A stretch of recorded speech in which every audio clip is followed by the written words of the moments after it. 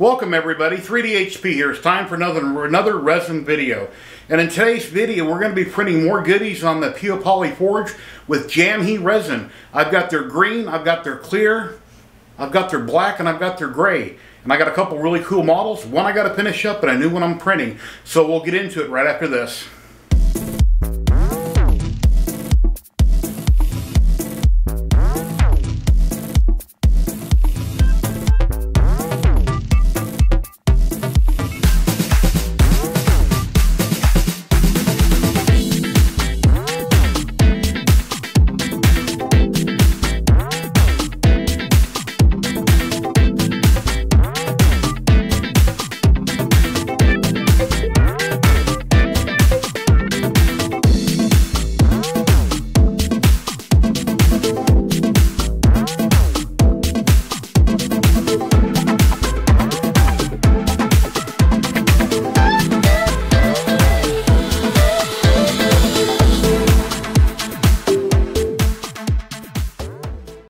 Welcome back. Time for more resin stuff. I'm always printing something. I'm busier than hell seven days a week here in Vegas being retired.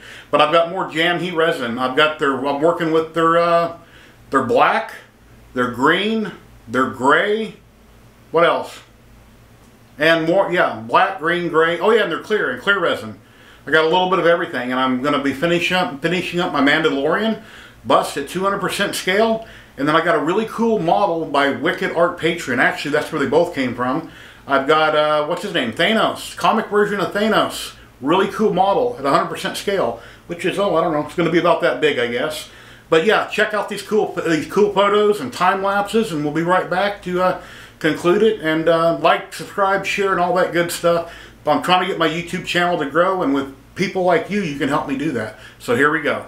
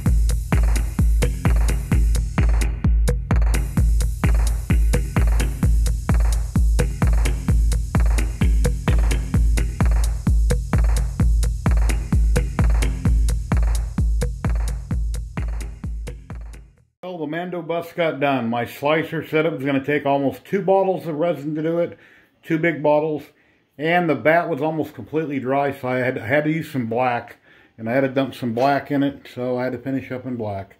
But we'll get it all stripped up, get it cleaned up, washed up, and uh, see what it takes to look, what it all takes to look.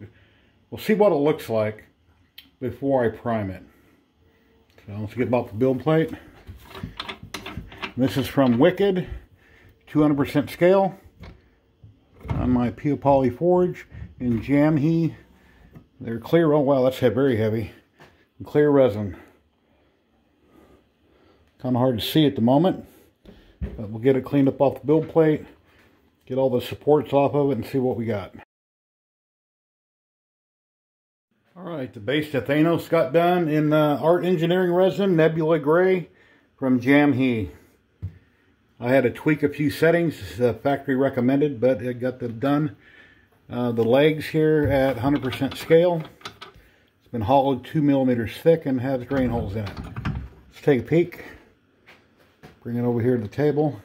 And this time I use light supports. Whatever you do, do not use heavy supports heavy supports were held in that other piece. So what I did, I put the model in Lychee, or excuse me, in Chitubox. I hollowed it and done internal supports in Chitubox and put in my drain holes. Then I imported it in Blair Slicer, I believe it was. And uh, then I sliced it. Came out great. The In Blair and in Lychee, the internal support structure was like a honeycomb and it was almost solid and I couldn't seem to get that down to where I wanted it. So in Chitubox, I used 5% internal supports, the grid, and it came out great. And then I just imported the files in STL, imported it in Blair, put on light supports, dense light supports, and it came out great. So, not very good. So, let's see how easy they're going to come off. Yeah, see? That's how they're supposed to come off. Yeah, real easy. So that'll be awesome. So let me get this all cleaned up and we'll start printing the next part. I got to do is uh, the base and then his torso. Okay, let's take a look at the upper part of Thanos. And what was time on that? 18 hours, 33 minutes.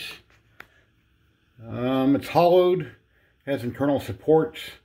I used uh, light supports on this, dense light supports, and it looks like I have a, some breakage here. I noticed when it was printing last night, in the vat, had a little piece of the back of his, uh, I don't know what you call that piece on the back of his armor, right below his head. You can see it right there.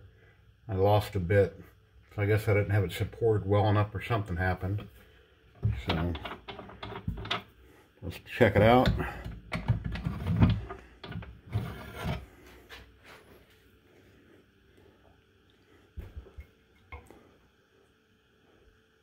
yeah.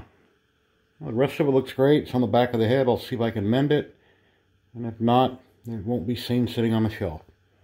So wait and see how that how that comes out. But these supports, they just they remove real easy. Not a problem whatsoever. Awesome. The green got done. The base got done. And it's in green resin, and that looks amazing. You can see a little bit of resin inside right there. Wow. So cool. Print time was 26 hours, 35 minutes. Thanos base. Let's get it over the table here. Ooh, that is beautiful. It's a shame I'm going to have to prime it and paint it. But that is a beautiful green. And once again, I use light supports, dense supports.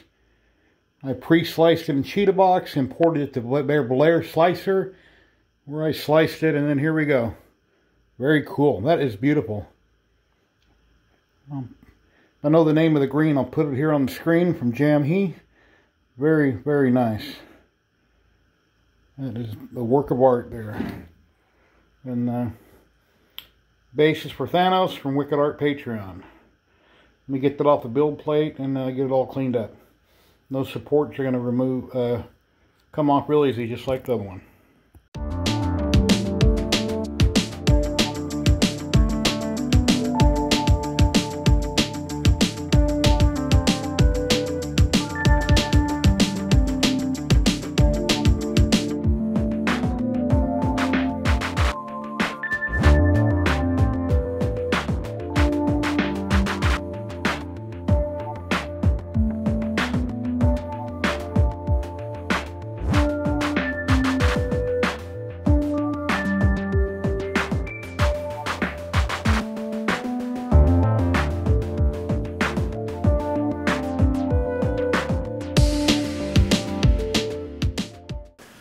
Go, we got everything done.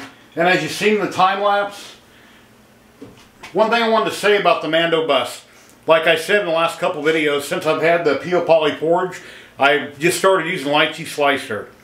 And like a dumbass, I put heavy supports on this. Don't ever, ever use dense heavy supports. I had one hell of a time getting all the supports off of this model. And uh, basically I ran through two big bottles of resin doing it. And because it has a big vat, I didn't want to run it completely dry. That's why I dumped black in. And as you see in the top half of the model, when it was printing inverted, its collar and neck area got done in black because I was running out of resin.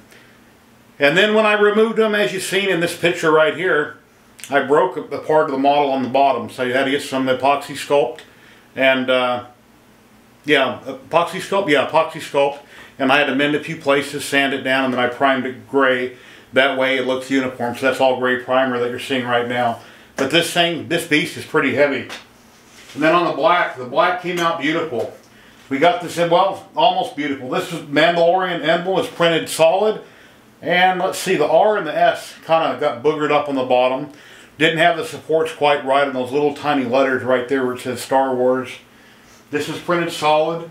The base was done, it was hollowed out, and of course it's black and it came out really good, came out very nice. The white marks are scratch marks from me pulling off supports and cleaning it up. That's why it looks scratched.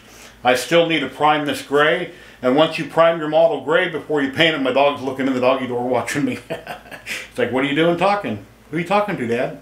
anyway, um, yeah, once you prime it gray and you get before you go to paint, you can see any boogers that you have or any places you need to touch up or any little supports that you might have missed. You can find at that point. So basically the front, which is not glued yet, obviously, will sit on there. It's a little crooked. And then when you put the two heads on, um, I'm either going to, I'll probably end up using magnets on them. There's with his helmet. And then here's with the actor's head on. Came out very nice. Looks beautiful. And I don't have a tape measure around. I can grab one real quick and I'll tell you what the height is on that. And I'll height off the base at 200% scale. Uh, that's about 14 inches. Well, that's about 14 inches tall, and that's a 200% scale. And then moving on to this beauty, look at this. And as, as you've seen, the base was done in green, and I got it all cleaned up, and it's been cured, and I primed it gray for the camera effect. That way you can see all the little skulls and everything that's in that. But yeah, that just came out beautiful. So nice. And I don't have the figure glued in yet. He's just sitting there. Thanos just sitting on the base. I do have the two parts of Thanos glued together. And it came out amazing. And that is in their uh, Jam Heat Gray resin. I forget if this was a standard or the Nebula. I think it was the standard plus resin. The gray. He has not been primed. That's the gray. I did have one boo-boo. I lost some supports here on the back. So we'll have to, uh, I might go on Netfabb, put this part in Netfabb, try to cut that out and I can glue that little piece back in. But yeah, it came out beautiful and it, the resin's printing really nice on the Peopoly Forge. The Forge is an awesome printer. I'm glad I got it. It's a nice size and it's working really good. And the base came out really good. Thanos came out really good. And I cured these three parts as you've seen in the Uniformation curing box they sent me out their wash machine, which is a wash station. they sent me out their curing box. And I haven't used their wash machine yet. The curing box is working really good.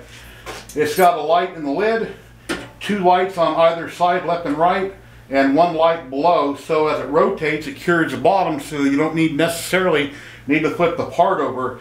I typically cure everything for about 10 minutes, 10 minutes per side.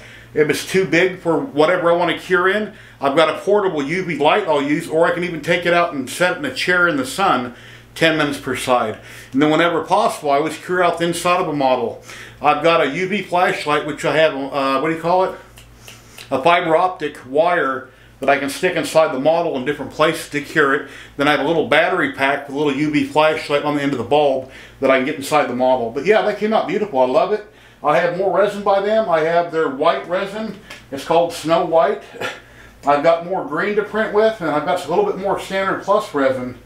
And uh, yeah, we're still printing goodies from Heat. The Peopoly Forge is doing great. Some of my prints have been on the Uniformation GK2 8K resin printer. It's doing a wonderful job. And yeah, everything is working out great pretty much. But please like, subscribe, and share. I'll show more pictures here at the end of the video. And uh, yeah, check out the resin. If you like the Peopoly Forge, it was it's on sale, I believe, for like 900 and something bucks right now. It's they had a great deal. I'm not sure if it's still on sale, but it was at the time of my last video. It's got an awesome build volume on it. Uh, the build plate is heated. It has a little heater up here on the top where you can heat the vat. And I showed you I got the camera working where I can monitor the print with the camera, so I got that working. I haven't figured out the Wi-Fi yet, but I've got the rest of it working on it. And uh, I guess that's about it. So until next time, please like, subscribe, share, and have an awesome day. Later.